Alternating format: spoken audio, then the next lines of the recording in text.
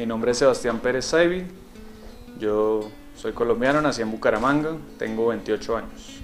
Estudié física e ingeniería mecánica. Y ahí tuve una oportunidad de irme a trabajar en algo bastante interesante que fue la minería en Chile.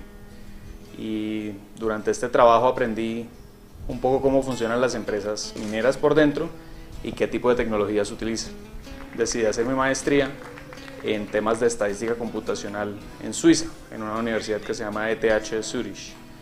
Fue allí donde conocí a mi socio Juan Pablo, que es el, el cofundador de Antrópico, y pues fue allí donde empezamos a pensar que hay herramientas muy sofisticadas en matemáticas, en física y en las ciencias puras que no se ven en la industria.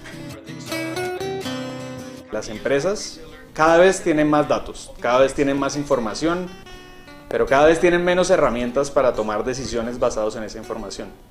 Antrópico lo que hace es ahorrarles todo el trabajo, decirles por favor cargue sus datos acá en una página web, ellos dan un clic y al, después de dar el clic tienen un reporte automatizado que les muestra cómo, no solamente cómo se ve su negocio, sino qué tipo de cosas puede hacer para mejorar y redireccionar su negocio. Queremos ser el Amazon de Data Science o de ciencia de datos, en el sentido en que queremos ofrecer miles y millones de este tipo de preguntas, tal que cualquier persona pueda entrar y decir yo quiero escoger esta pequeña pregunta y puede pagar por esa pequeña pregunta.